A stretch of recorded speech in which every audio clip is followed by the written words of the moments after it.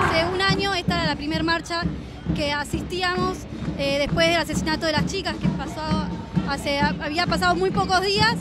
Entonces eh, sabemos que hoy se luchan por todos los derechos de las mujeres y creemos que la vida es un derecho. Eh, a las chicas las asesinaron, fueron víctimas de un doble femicidio.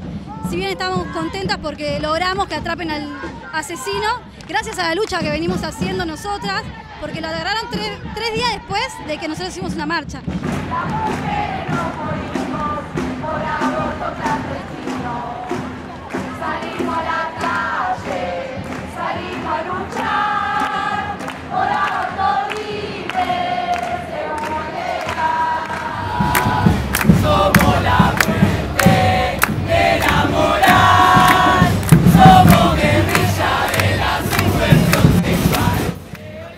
Además en este contexto de neoliberalismo rancio que nos que se nos presenta, digamos, sabemos que las lógicas son totalmente organizadoras del, del control, digamos, del poder dentro de un bloque duro y que las organizaciones sociales somos los que estamos conducidos a ser fragmentados.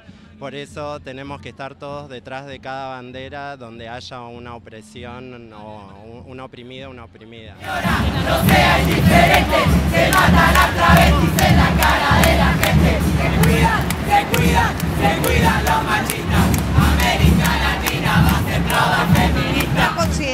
Que la lucha por el aborto es clave en la lucha por la emancipación de las mujeres, dado que tiene que ver con la libertad y la autonomía para decidir sobre el propio cuerpo. Y sin esa posibilidad no hay posibilidad de autonomía en ninguno de los aspectos de la vida.